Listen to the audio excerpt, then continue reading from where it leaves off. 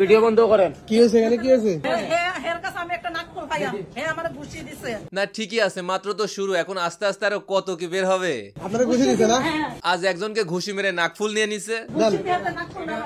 কাল আরেকজন এসে বলবে আমার এই নিছে সেই নিছে। ঘটনাটা এখন এমন জায়গায় গিয়ে দাঁড়িয়েছে কেসও খুঁজতে গিয়ে সাপ বের হয়ে আসার মতো। এতদিন মেয়ের ফ্রেমটাকে কাজে লাগিয়ে পাগলামি সাগলামি তো করছেই। এই খালিম সুন্দরী তুমি কে? এখন আবার শুনতেছি এই মহিলাকে ঘুষি মেরে নাকি তার নাকফুল নিয়ে নিছে। নাক ফুল নিছে নাক ফুল দে। যাই হোক আজকের পুরো ভিডিওতে আমি দুইটা জিনিস দেখাবো। এই মহিলার সাথে নাকফুল নিয়ে যে ঘটনাটা ওইটা কতটুকু সত্য? আমার নাক ফুল দিবে আর দুই আসলেই কি সুমায়া এবং সুমায়ার বাবা মাতার ভুল বুঝতে পারছে? তো এটার জন্য সবার কাছে আমি ক্ষমা চাচ্ছি। তো শুরু করা যাক। নামাজ বাদ দিও না বন্ধু এপারের চেয়ে ওপারের জীবন বেশি সুন্দর। Hello hello hello microphone testing one two three four hello hello না সব কিছু ঠিকই আছে। কারণ আজকে চশমাটা পয়রা নেই। কেমন জানি আজকে খুব ফিল হচ্ছে আজকে চশমা পরে ভিডিও বানাবো ঠিক আছে? আসসালামু আলাইকুম দিস ইজ ফারাবি। শুরুতেই প্রথম ঘটনাটা নিয়ে কথা বলা যাক। সুমায়ার বাবা নাকি এই মহিলাকে ঘুষি মেরে তার নাকফুল নিয়ে নিছে?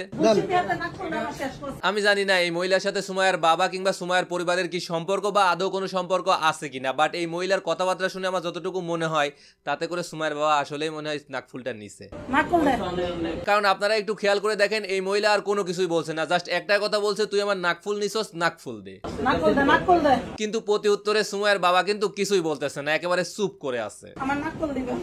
এখন আপনারাই বলেন আপনাদের কাছে কি মনে হয় ঘটনাটা কি সত্য নাকি মিথ্যা? কমেন্ট করে বলেন। মায়া মায়ার বাপ? মরলে মায়া শান্তি অনেক শান্তি ওয়েট আমি না একটা জিনিস কিছুতেই বুঝতে পারছি না। মেয়েকে দিয়ে যে পরিমাণে বিজনেস করাইছে তার উপর মেয়ের ফেমটাকে কাজে লাগিয়ে নিজেরা পাগলামি সাগলামি করে যে পরিমাণ অর্থ কামাইছে তারপরও এরকম অপকর্ম করার কারণটা কি? এই যে না এই যে ভান্ডারের বউ বরে বউ বসে রয়েছে। এর থেকে ওই পাগলামি সাগলামি গুলা করতেছিল ওইগুলাই তো ভালো ছিল। আর যাই হোক কেউ তো চুরির অপবাদ দিতে পারতো না। বেরি নাকুল চুরি বাই দাও আমি শুধু সুমায়ের মার কথা ভাবতেছি তারে কেউই দাম দিল না। না আমি তো তোমার কখনো দেখিনি। এত সুন্দর অভিনয় করার পরও কেউ তারে দাম দেয় না। কেন? ওয়াই দেখেন স্বামীরা সবাই চোর বলতেছে আর সে অবুলার মতো বৈশা থেকে তাকায় তাকায় শুধু দেখতেছে। কেউ বুঝলো না রে তার গুণ কেউ বুঝলো না। এত সুন্দর নাচ। এত সুন্দর অভিনয়। না আমি তোমাকে চিনি না। কোনোটারই কেউ দাম দিল না। আর ওইদিকে আপনাদের বড় ভাই পথ শিশু আগুনের পাশে দাঁড়ানোর জন্য সুমায়া তো আগুনের উপরে সেই লেভেলের খেপছে। তো আমার বিষয়ে আগুন তুমি আর কোনো কথা বইলো না। মানে সে ধীরে ধীরে বুঝতে পারছে যে তার বাবা মার সাথে মিশে পাগলামি সাগলামি করার জন্য তার ক্যারিয়ারটা আস্তে আস্তে নষ্ট হয়ে যাচ্ছে। আর যদি নেক্সট টাইম আমি তোমার কাছে আমার কোনো কথা আর নষ্ট হবে না কেন? আপনারাই বলেন এই বয়সে বুদ্ধি হয়ে যাওয়া ভালো কিন্তু বেশি পেকে যাওয়া একদমই ভালো না। আর আমার নাম এখন আমার ফ্যামিলির নাম একদমই মুখনিমা তুমি আর। আপনাদের কাছে প্রশ্ন রইল আপনারাই বলেন তো আগে সুমায়া আর এখনকার সুমায়ার মধ্যে আকাশ পাতাল তফাত না? আমি নই তো কুটিপতি।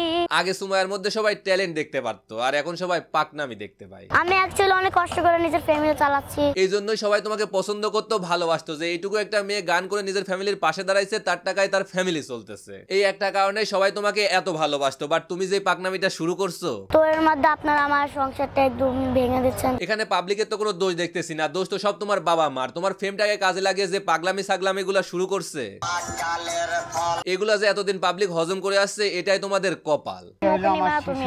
আজকে বুঝতে পারছেন যে এটা আপনার ছোট একটা বাচ্চা এতদিন এই বুদ্ধি কই ছিল? এই বাচ্চারা লইয়া খেলাধুলা করবে না। এই যে এইভাবে এই পাগলামি সাগলামি গুলা যে করছেন এইগুলা করার আগে মনে ছিল না যে আপনার ছোট্ট মেয়েটার একটা ভবিষ্যৎ আছে? আমার মেয়েটার নামে কোনো খারাপ কোনো কমেন্ট কোনো কিছু লিখবেন না। এখন যখন দেখছেন আপনার জন্য আপনার মেয়ের ক্যারিয়ার নষ্ট হয়ে যাচ্ছে তখন আইসা বলতেছেন যে আমার ছোট্ট একটা মেয়ে তাকে নিয়ে খারাপ কিছু বইলেন না। বুঝতে পারি নাই যে গগন ভাই আগুনকে নিবে। এখন তো বুঝতে পারছ কেন তোমারে বাদ দিয়ে আগুনকে নিচ্ছে কারণ তুমি নিজেকে সেলিব্রিটি ভাবতে শুরু করছিলা। মানে তুমি কি সেলিব্রিটি দাবি করো নিজেকে?